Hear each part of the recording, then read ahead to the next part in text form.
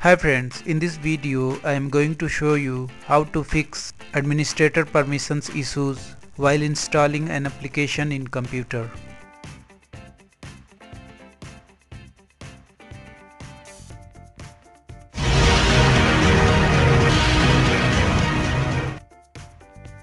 In order to fix this error, click right on application setup file.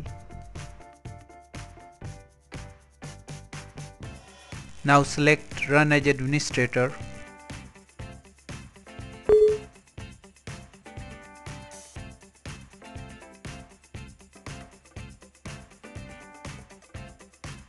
Click on install option